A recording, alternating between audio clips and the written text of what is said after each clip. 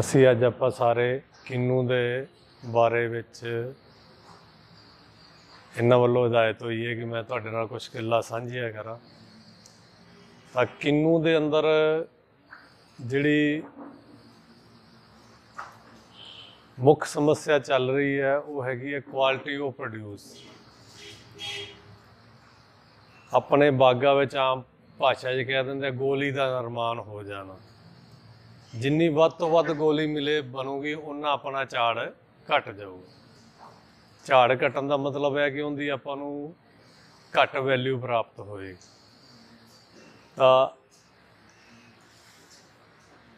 ਮੇਰੇ ਸੰਪਰਕ ਵਿੱਚ ਆਉਣ ਵਾਲੇ ਕਿਸਾਨਾਂ ਦੀ ਜਿਹੜੀ ਠੇਕੇਦਾਰਾਂ ਦੀ ਜਿਹੜੀ ਮੁੱਖ ਦਿੱਕਤ ਹੈ, ਉਹ ਹੈ ਬਾਗ ਦੇ ਵਿੱਚ ਕੁਆਲਿਟੀ ਪ੍ਰੋਡਿਊਸ ਘੱਟ ਹੋਣਾ। ਜਦੋਂ ਤੁਹਾਡੇ ਕੋਲ ਬਾਗ ਠੇਕੇਦਾਰ ਆਉਂਦਾ ਹੈ, ਬਾਗ ਲੈਣ ਤਾਂ ਉਹਦੇ ਨਾਲ ਗੱਲ ਹੁੰਦੀ ਹੈ। ਤਾਂ ਆਪਾਂ ਨੂੰ ਸਭ ਤੋਂ ਪਹਿਲੇ ਉਹ ਇਹ ਕਹਿੰਦਾ ਜੀ, ਤੁਹਾਡੇ ਬਾਗ 'ਚ ਤਾਂ ਗੋਲੀ ਬਹੁਤ ਹੈ। ਮਾਲ ਤਾਂ 200 300 ਕੁਇੰਟਲ ਹੋਊਗਾ, ਪਰ 100 ਕੁਇੰਟਲ ਤਾਂ ਗੋਲੀ ਹੈ। ਉਹਦੇ ਪੈਸੇ ਨਹੀਂਗੇ ਪੈਸੇ 200 ਕੁਇੰਟਲ ਦੇ ਆਪਾਂ ਨੂੰ ਮਿਲ ਤਾਂ ਆਪਾਂ ਆਪਦੇ ਬਾਗ ਨੂੰ ਕਿਸ ਤਰ੍ਹਾਂ ਇਦਾਂ ਦਾ ਬਣਾਈਏ ਕਿ ਉਹਦੇ ਵਿੱਚੋਂ ਵੱਧ ਤੋਂ ਵੱਧ ਕੁਆਲਿਟੀ ਪ੍ਰੋਡਕਟ ਨਿਕਲੇ, ਜਿੰਦੇ ਨਾਲ ਆਪਣਾ ਉਹਦੀ ਰਿਟਰਨ ਜਿਹੜੀ ਆਪਣੀ ਇਨਕਮ ਹੈ, ਜਿਹੜੀ ਆਮਦਨ ਹੈ, ਉਹ ਆਪਣੀ ਵੱਧ ਤੋਂ ਵੱਧ ਹੋ ਸਕੇ।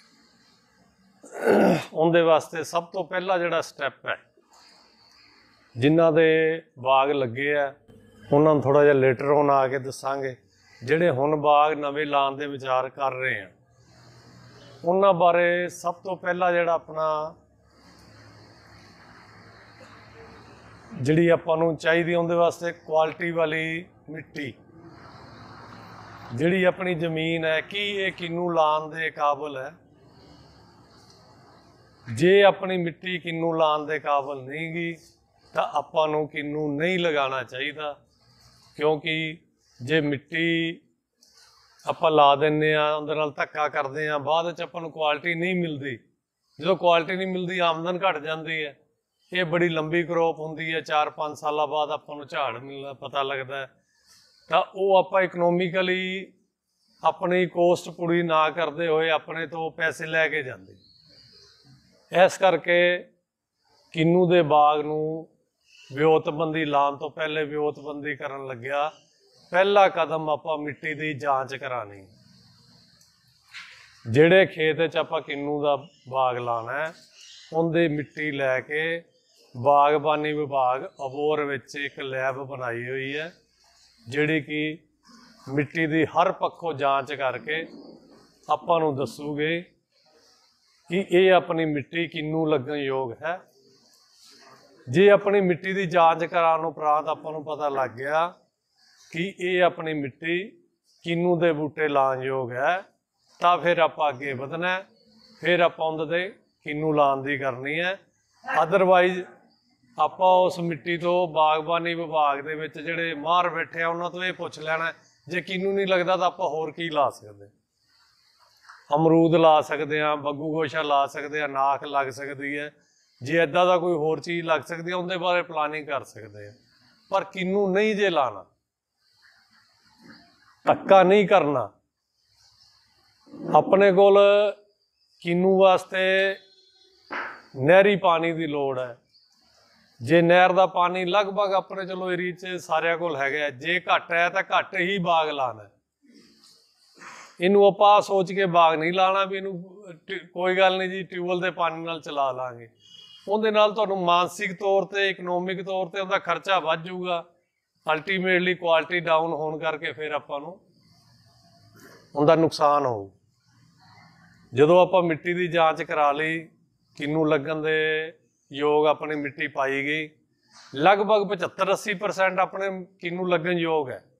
ਇਹ ਗੱਲ ਨਹੀਂ ਨਹੀਂ ਹੈਗੀ। ਕੋਈ 10-20% ਏਰੀਆ ਹੀ ਹੈ, ਜਿੱਥੇ ਸੇਮਾ ਆ ਗਿਆ ਕਲਰ ਆ ਗਿਆ ਸਾਲਟ ਜ਼ਿਆਦਾ ਆ ਗਏ, ਉਹਨਾਂ ਜ਼ਮੀਨਾਂ 'ਚ ਛੱਡ ਕੇ ਬਾਕੀ ਲਗਭਗ ਜ਼ਮੀਨਾਂ ਆਪਣੀਆਂ ਕਿਨੂੰ ਲੱਗਣ ਯੋਗ ਨੇ।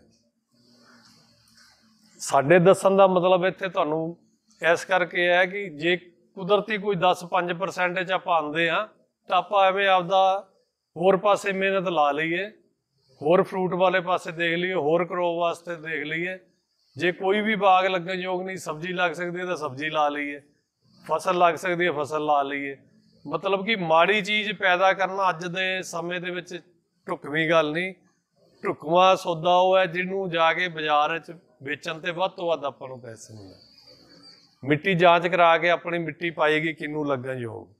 ਫਿਰ ਆਪਾਂ ਨੂੰ ਚਾਹੀਦਾ ਹੈ ਜੀ ਆਪਾਂ ਉਹਦੇ ਵਿੱਚ ਕਿੰਨੂ ਦਾ ਬੂਟਾ ਲਾਣਾ ਹੈ। ਆਪਣੇ ਏਰੀਏ ਦੇ ਵਿੱਚ ਹੁਣ ਕਿੰਨੂ, ਜਿਹੜਾ ਕਿ ਬੇਸਿਕਲੀ ਸੰਤਰੇ ਦਾ ਹੀ ਮੈਂਡਰਿਨ ਹੈ। ਸੰਤਰੇ ਦੀ ਹੀ ਇੱਕ ਵੈਰਾਈਟੀ ਹੈ। ਜਿਵੇਂ ਆਪਣੇ ਨਾਗਪੁਰੇ ਸੰਤਰਾ ਨੂੰ ਨਾਗਪੁਰੀ ਸੰਤਰਾ ਕਹਿੰਦੇ ਆ।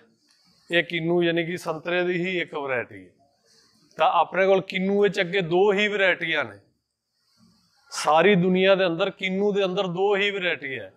ਇੱਕ ਕਿੰਨੂ ਜਿਹੜਾ ਆਪਣਾ ਸਿੰਪਲ ਪਹਿਲੇ ਤੋਂ ਚੱਲ ਰਿਹਾ ਇੱਕ ਲਗਭਗ 2016 ਦੇ ਵਿੱਚ ਪੰਜਾਬ ਖੇਤੀਬਾੜੀ ਯੂਨੀਵਰਸਿਟੀ ਵੱਲੋਂ ਪੀਏਯੂ ਸਿਲੈਕਸ਼ਨ 1 ਕਿੰਨੂ ਦੀ ਨਵੀਂ ਵੈਰਾਈਟੀ ਬਣਾਈ ਗਈ ਹੈ, ਜਿੰਦੇ ਵਿੱਚ ਬੀਜ ਬਹੁਤ ਘੱਟ ਨੇ।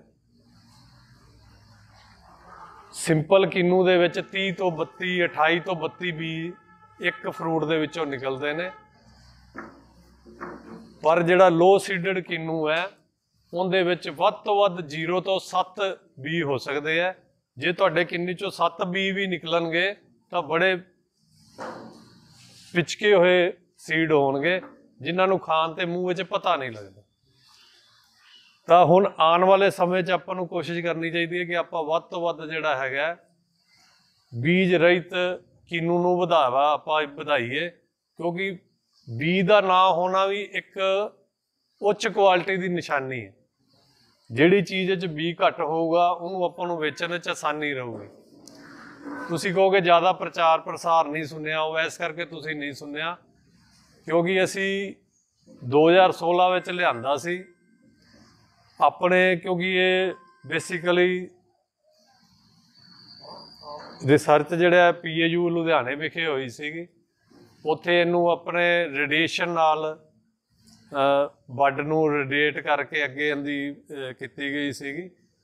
ਤਾਂ ਉਹਨਾਂ ਦੇ ਬੂਟੇ ਆਪਣੇ ਏਰੀਏ 'ਚ ਲੱਗਣੇ ਜ਼ਰੂਰੀ ਸੀਗੇ। ਬੂਟੇ ਲੱਗਣ ਤੋਂ ਬਾਅਦ ਆਪਾਂ ਨੂੰ ਕੀ ਕੁਆਲਿਟੀ ਪ੍ਰਾਪਤ ਹੁੰਦੀ ਹੈ ਆਪਣੇ ਏਰੀਏ ਦੇ ਵਿੱਚ, ਉਹਨੂੰ ਦੇਖਣ ਤੋਂ ਬਾਅਦ ਹੀ ਆਪਣੇ ਏਰੀਏ 'ਚ ਯੂਨੀਵਰਸਿਟੀ ਚਾਹੁੰਦੀ ਸੀ, ਖੋਜ ਕੇਂਦਰ ਚਾਹੁੰਦਾ ਸੀ ਕਿ ਜਦੋਂ ਤੱਕ ਸਾਡੇ ਕੋਲ ਡਾਟਾ ਨਾ ਆ ਜੇ ਕਿ ਆਪਾਂ ਨੂੰ ਵਾਕਿਆ ਹੀ ਉਹ ਸਾਈਜ਼ ਕਿੰਨੂ ਦੀ ਕੁਆਲਿਟੀ ਕਿੰਨੂ ਦਾ ਟੇਸਟ ਮਿਠਾਸ, ਜਿਹੜੀ ਕਿ ਆਪਣੇ ਬੀ ਵਾਲੇ ਕਿੰਨੂ ਵਿੱਚ ਉਹਦੇ ਬਰਾਬਰ ਆਉਂਦੀ ਹੈ। ਤਾਂ ਹੀ ਇਸ ਦਾ ਅੱਗੇ ਪ੍ਰਚਾਰ ਕੀਤਾ ਜਾਵੇ, ਲਾਇਆ ਜਾਵੇ। ਲਗਭਗ 20 ਫਾਰਮਰ ਨੂੰ ਪਹਿਲੇ ਇੱਕ ਇੱਕ ਕਿੱਲਾ ਲਵਾਇਆ ਗਿਆ ਸੀ। ਲਾਸਟ ਈਅਰ ਉਹਨਾਂ ਦੀ ਕਰੋਪ ਆ ਗਈ ਹੈ। ਕਰੋਪ ਦਾ ਝਾੜ ਲਗਭਗ ਬਰਾਬਰ ਕਿੰਨੂ ਵਾਲੇ ਬੀ ਦੇ ਬਰਾਬਰ ਹੀ ਆਇਆ ਹੈ। ਉਹਦੀ ਕੁਆਲਿਟੀ ਬੈਟਰ ਹੈ, ਛਿਲਕਾ ਪਤਲਾ ਹੈ। ਉਹਦੇ ਚ ਮਿਠਾਸ ਪੂਰੀ ਹੈ। ਉਹਦਾ ਜਿਹੜਾ ਕਲਰ ਹੈ ਉਸੇ ਰੰਗ ਦਾ ਹੈ। ਇਸ ਕਰਕੇ ਆਉਣ ਵਾਲੇ ਸਾਲਾਂ 'ਚ ਜਿਹੜਾ ਆਪਾਂ ਨਵਾਂ ਕਿੰਨੂ ਦੇ ਬਾਗ ਲਗਾਣੇ ਆ, ਉਹਦੇ ਵਿੱਚ ਆਪਾਂ ਨੂੰ ਲੋ ਸੀਡਡ ਕਿੰਨੂ ਵਾਸਤੇ ਲੈ ਕੇ ਜਾਣਾ ਚਾਹੀਦਾ ਅੱਗੇ। ਇਹ ਤੁਹਾਨੂੰ ਲਗਭਗ 2023 ਵਿੱਚ ਕਾਫੀ ਕੁਆਂਟੀਟੀ ਚ ਬੂਟੇ ਅਸੀਂ ਯੂਨੀਵਰਸਿਟੀ ਇੱਥੇ ਅਬੋਰ ਖੋਜ ਕੇਂਦਰ ਵਿੱਚ ਵੀ, ਲੁਧਿਆਣੇ ਵੀ ਤਿਆਰ ਹੋ ਜਾਣਗੇ। ਅਹ 2023 ਜੁਲਾਈ ਅਗਸਤ ਦੇ ਵਿੱਚ ਜਿਹੜੇ ਆ ਲਾਣ ਨੂੰ ਸੰਪਰਕ ਕਰ ਸਕਦੇ ਹੋ। ਤਾਂ ਇਹ ਦੋ ਚੀਜ਼ਾਂ ਦੀ ਜਦੋਂ ਆਪਾਂ ਮਿੱਟੀ ਦੀ ਜਾਂਚ ਕਰਾ ਕੇ ਕਿੰਨੂ ਲੱਗਣਯੋਗ ਹੋ ਗਈ, ਫਿਰ ਆਪਾਂ ਬੂਟੇ ਦੀ ਸਿਲੈਕਸ਼ਨ ਕਰ ਲਈ ਕਿ ਆਪਾਂ ਸੀਡਲੈਸ ਕਿੰਨੂ ਲਾਣਾ ਹੈ, ਆਪਾਂ ਸੀਡ ਵਾਲਾ ਕਿੰਨੂ ਲਾਣਾ ਹੈ।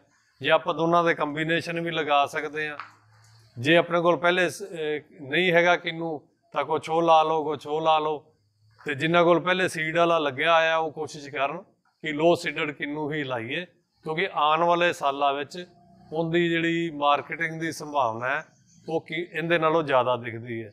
ਜਦੋਂ ਅਸੀਂ ਉਹਦੀ ਸ਼ੁਰੂਆਤ ਸਾਡੇ ਏਰੀਏ 'ਚ ਹੋਊਗੀ, ਤਾਂ ਸਾਨੂੰ ਉਹਦਾ ਐਡਵਾਂਟੇਜ ਰਹੂਗਾ। ਘੱਟ ਬੀ ਵਾਲੇ ਕਿੰਨੂ ਦਾ।